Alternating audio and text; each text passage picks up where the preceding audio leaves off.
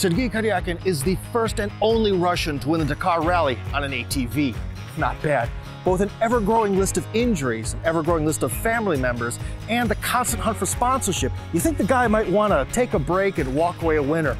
No, instead, he says that he's going to become a champion in two more vehicle categories. Can he do it? Well, anything's possible. Right now, we're with Sergei at the Can Am X Race in Karelia. But his journey to becoming a racing champion started 2,400 kilometers away in Yekaterinburg. I'm getting drunk 'cause it's fine.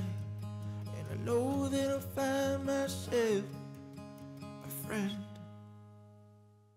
It's our shop, it's not so big uh, as you see, but in this shop we make victories for Dakar, we make victories for Silkway, mm -hmm. Can-Am X Race, Russian Championship, World Cup. So, you know, it's not the matter of the size, it's the matter of, uh, you know, of the quality. Sergey Karyakin, 28 years old, born, raised, and resides in Yekaterinburg, Russia. Champion race car driver, businessman, husband, and father of three. As you see the quads here, 3 mm -hmm. quads, they have three different sizes. They mm -hmm. are meant to, use, to be used with, uh, we make, you know, like um, quad school for, oh, the, okay. for the kids. Ah, so we travel all around Russia mm -hmm. and bring quads there for the kids who doesn't have parents or in you know difficult situation in their life. Ah, uh, so we work with them to make sure that they will be in front of sports. You know, they will be. Um, connecting their life with the sport mm -hmm. because you know the most the biggest problem with them is uh, that they in future they choose alcohol tobacco and all this kind of stuff oh yeah when you have nothing to do you drink yeah so, yeah, yeah. so that's that's why you know on my on my experience I try to give them the same which I saw in my childhood. You started off as a kid on a motorcycle. So yeah. how old were you? Uh, I think I was around eight years old. Uh, do they make a motorcycle sized for eight-year-olds, or was it like an like a Soviet adult motorcycle? Uh, no, it was a Japan motorcycle. Uh-huh. We brought it from Vladivostok, mm-hmm. uh, direct in Russia, and it was for adults.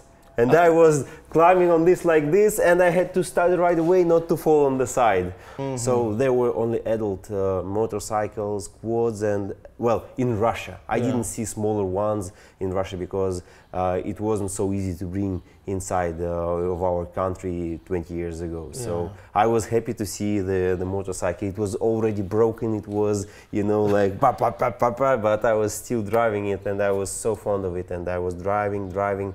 And that's why I connected my life with all this racing stuff mm -hmm. because I just love it and that's it.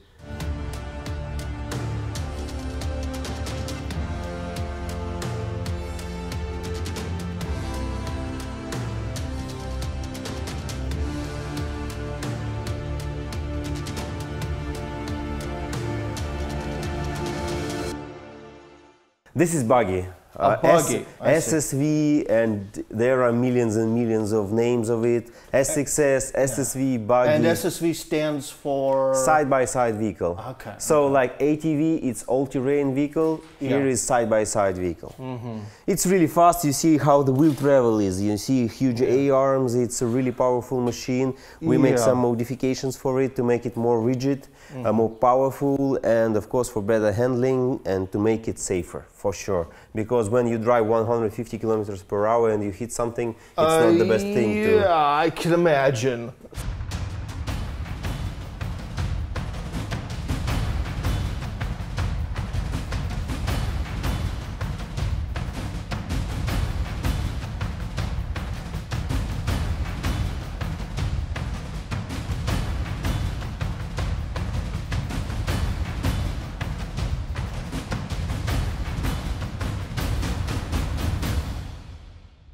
Once we've been sitting with my father behind, in front of TV and they were showing Dakar Rally mm. and he says, why don't you want to try?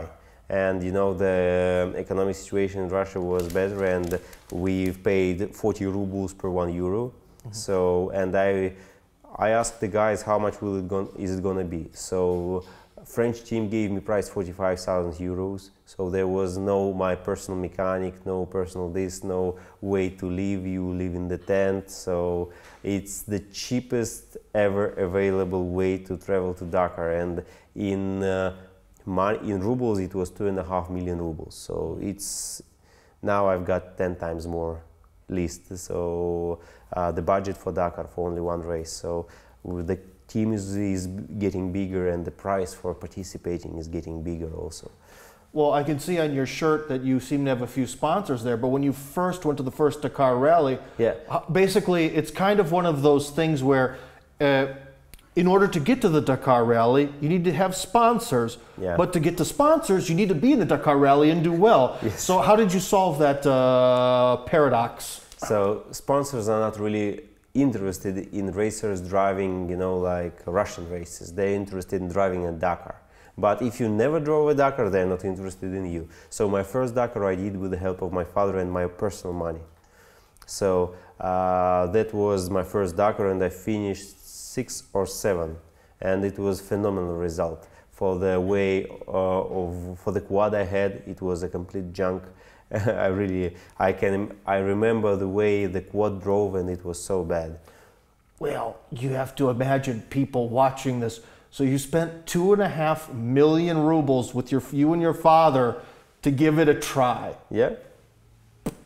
That's Yeah. hardcore. and then and you know i couldn't even explain in my words how bad it was so my my hands were already aching so much because all these heats overheating i wasn't i didn't even realize what was waiting for me and this was a real game so but i finished the dakar and that was my one of the biggest wins in my life Well, you said you came in sixth or seventh out of how many? Is this like hundreds of people? no, 40 people. 40. But it's 40 the best of the best. You should understand. It's uh, it's the limit in the class. So you cannot go extra than 40 people in the class.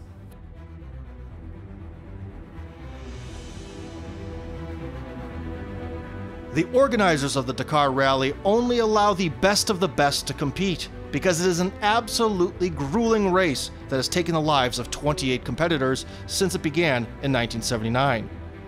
Sergey puts an incredible amount of work into preparing for the next Dakar to make sure he won't become number 29.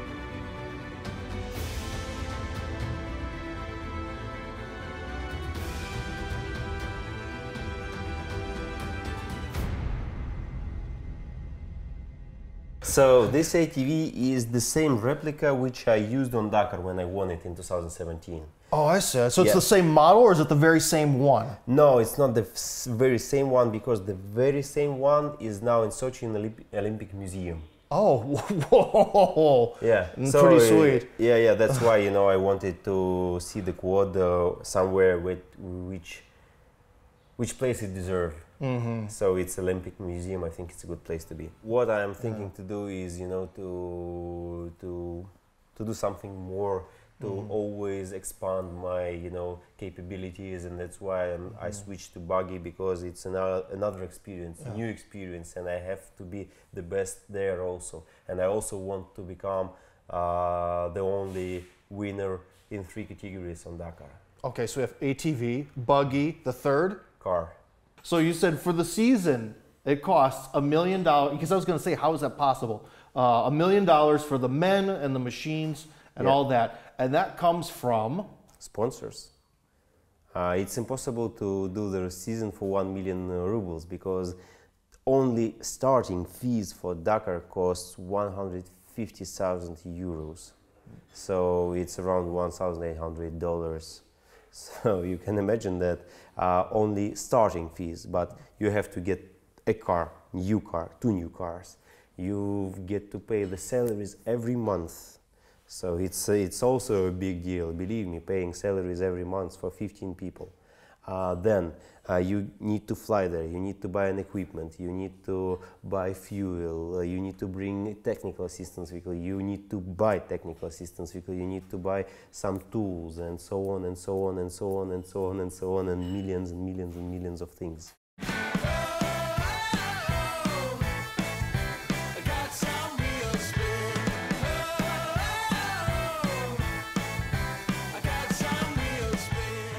The days to Dakar are quickly counting down, but right now Sergey and his team are taking the opportunity to try to win one of Russia's most prestigious competitions, the Can-Am X Race, which this year is in Karelia, right on the border with Finland.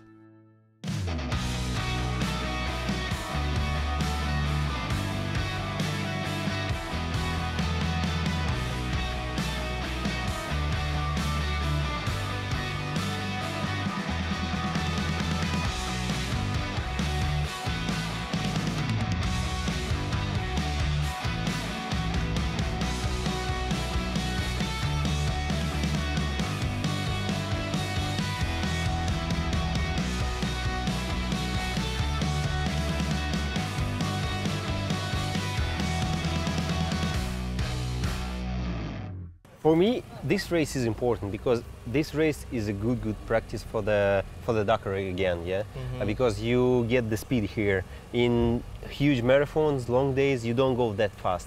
But when you learn how to drive that fast, and when you are on huge marathon, you can get you know your speed slower and you are in safe you know like this is very important to go 50% from what you can so you can save your car you can save yourself and be ready for the next day and day another and another and other days Forest with a very pretty narrow Yeah. road. Is that abnormal or is that very common?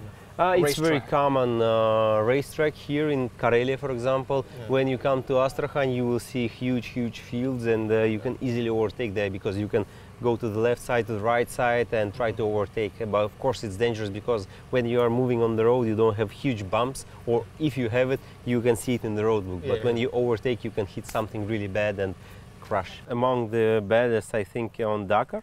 When I was driving quad, so I broke two arms in one time. Oh, Yeah, so my two bones crushed.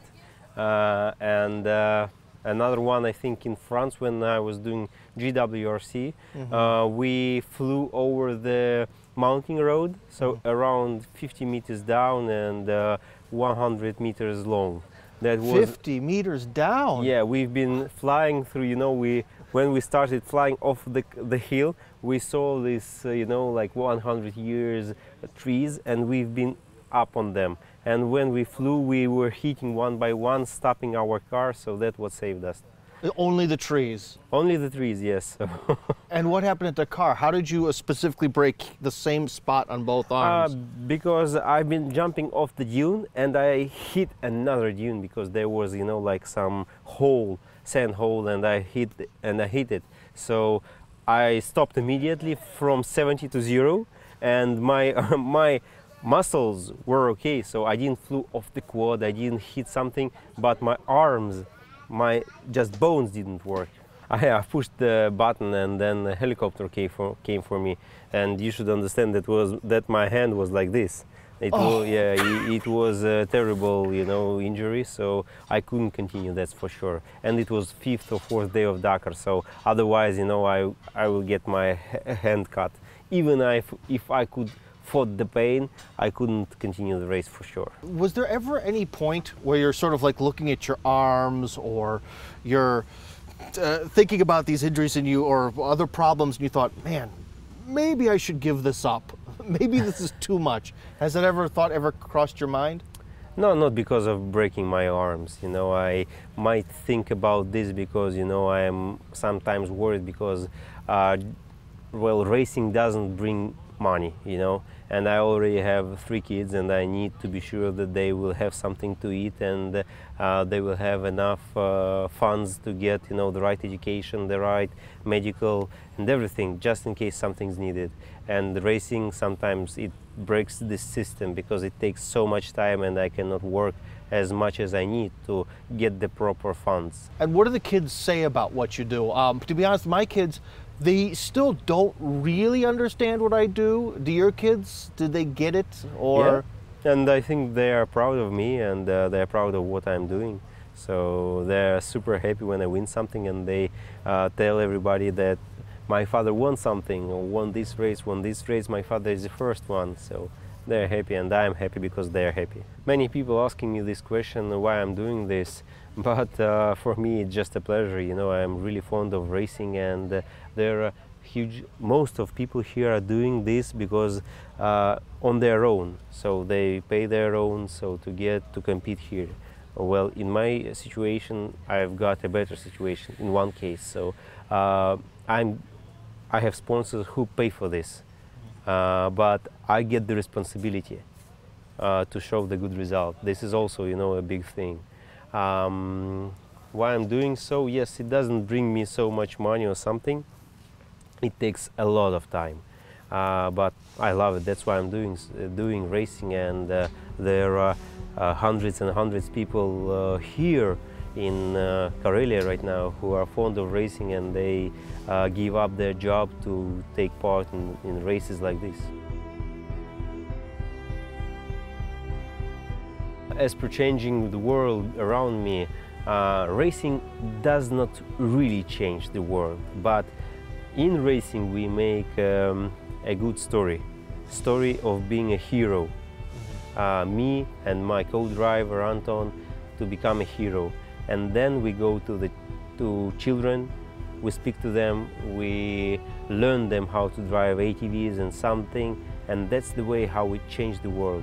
We bring children into sports we try to make their eyes burn with, with love to sports. So we show them how sport is nice, why it's nice. So most of the guys, when I'm saying children who doesn't have parents or they're uh, in difficult situation, you know, uh, we visit the houses where they live and then we bring sports to them and we try to tell them how good is it and uh, I'm sure that not everybody of course but 10, 5% of them, they will change their world from, you know, like drugs, alcohol, and so on and yeah, so on yeah. to sports. That's what made me strong, and I hope that sport will make them strong. And also, I've got a cheaper, you know, cheaper uh, price for for buses and the metro. Oh, you get the, the discount because yeah. you're a hero. Wow, great. yeah and oh. I've, I, I saved tons of money. You should, you couldn't imagine it.